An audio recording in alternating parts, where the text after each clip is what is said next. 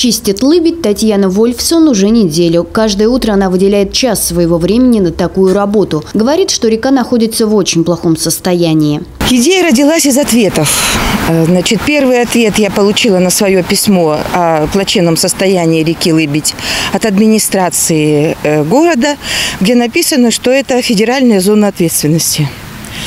А, И они мне пообещали, единственное, что они в этом году могут сделать, поставить здесь урны для мусора, потому что это и есть основной, основная причина того, что люди бросают пакеты в речку. Татьяна живет в Рязани всего 4 месяца и не перестает удивляться состоянию наших рек. Чего только нет в Лыбеде, рассказывает она. В реке очень много, как я уже сказала, целлофана. Целлофан, он не, э, не, раз- не разлагается, он сто лет, ему надо, чтобы он эту речку перестал мучить. Вот. Одежды много. Вот вчера вытащила рубашку, штаны, носочки забитые все с, э, с песком. Вот. И очень много бутылок. За свои средства женщина наняла рабочего, который опилил заросшие кусты рядом с лыбедью. В планах Татьяны собрать выловленный мусор из реки по пакетам и продолжить очищать реку. Позвонила во все федеральные структуры города Рязани, где мне было сказано, что что вы, что вы, нет, у нас этой речки, так сказать, не на балансе нигде.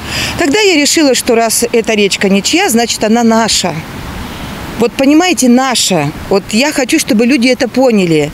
Не надо надеяться на власть. Вот. Надо самим что-то начинать делать. Татьяна надеется, что в Рязани найдутся неравнодушные люди, которые вместе с ней помогут справиться с мусором в реке. И Лыбедь снова будет украшать наш город. Олеся Котровская, Даниил Пилипенко, телекомпания «Город».